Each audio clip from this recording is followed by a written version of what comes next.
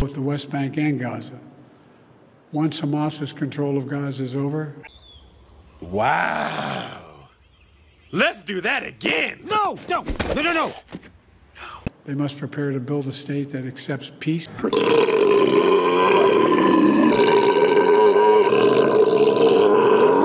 Not harbor terrorist groups like Hamas and Islamic Jihad. I got three words anger management. You might want to check your math on that one. And together, we will keep working to complete what is what we started. What did he say? I can't, I can't, I can't say that word. The region to bring about peace between Israel and all its Arab neighbors, That actually was pretty funny. including the Palestinian state. That effort was already underway before October 7th attack.